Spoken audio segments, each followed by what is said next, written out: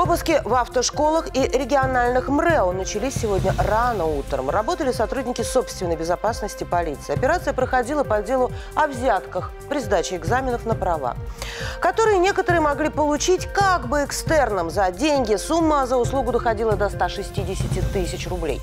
Также полицейские пришли в МРЭО, а, который в Ленобласти, и там а, тоже установили, что принимали экзамены э, экстерном.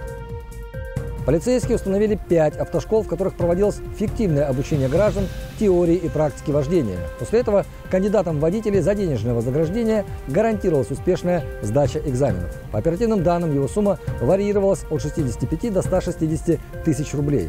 При этом сотрудниками собственной безопасности установлены два областных МРЭО, в которых таким коммерческим экстерном сдавались экзамены. По данным оперативников, коррупционная схема действовала несколько лет.